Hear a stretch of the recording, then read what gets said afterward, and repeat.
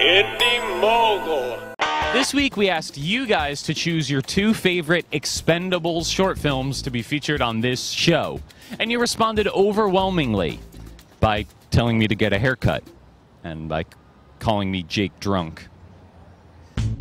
Film Fights TV. We set the rules, you make the films, you decide the winner. Our first film is from Sometimes Funny. Cremaster calls the film a contemporary and captivating social commentary, and Achtung calls it a great and twisted concept of desperation. Those are some fancy words. Let's watch. It really, I think, has given a lot of meaning to us as individuals. I think it's pretty clear. I mean, you know, America's obviously the best country in, on the planet. You know, a lot of that's due to the transition. When your number's called, you find out by swiping your card. Um, the card tells you to report to the transition station within 72 hours after swiping, so you get a few days to settle your affairs, which I think is you know an entirely reasonable amount of time. And then you're converted into the energy that continuing to power our, our culture, our society. I've kind of come to accept it, and frankly, I think it, you know it'd be an honorable way to end my life. Think about third world countries; they have overpopulation, fewer resources in every way, not just power. What do you say to people who think the system is broken or doesn't work? You don't think this system works for you? Then why don't you move to another country, become a citizen of another country? You know, we don't need you. I mean, um, you're living off the system, and that's just not fair. That's what I would say. Um, I thought it was funny. I think it's a good satire. I did find it darkly comic. Is it supposed to be funny? I was sort of confused. I kind of wish it went a little bit more so I could have understood. It reminded me of Soylent Green, actually. I thought it was kind of deep. It definitely made me think. I thought it was definitely meant to be provocative and it reached that aim. I agree with, you know, if you don't like this country, you can move somewhere else. I'm not sure if it was making some, like, what statement it was making about energy or energy crisis exactly. I do think that people in these countries should have a larger share of accountability because the United States is accountable for most of the um, energy, like fuel, fossil fuel energy consumption in the world. I would watch it if it was developed further. I guess it comes down to the question what's more important, the, the people or the idea of energy? Well, obviously, the guy had a rose and the girl didn't want him anymore, so it's a little upsetting. Xander C. Frost calls our second film, quote, a sweet and touching puppet love story. And Bobo Fett exclaims, it has my vote, five stars, thumbs, or whatever. It's from the UK film group Evil Genius.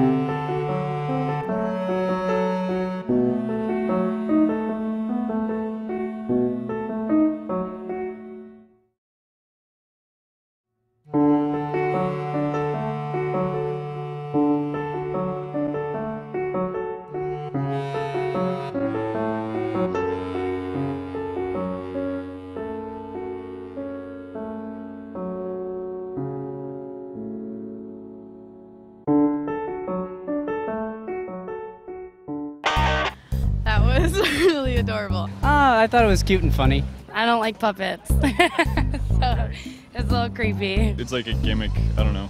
I don't think the puppets' emotions, I couldn't relate to them, you know, like at all.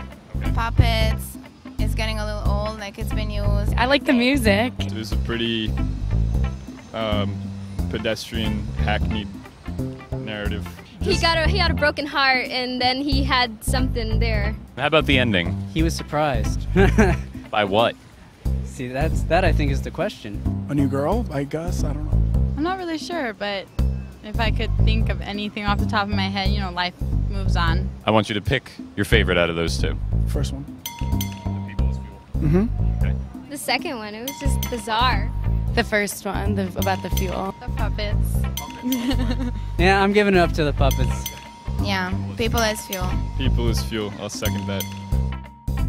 Hi, I'm Aaron Yonda. I'm co-creator of Chad Vader, as well as a lot of other internet series. The Expendables. It was clever, um, and I liked the use of the subway. I think I had to watch it a couple times before I was like, wait, is this about overpopulation?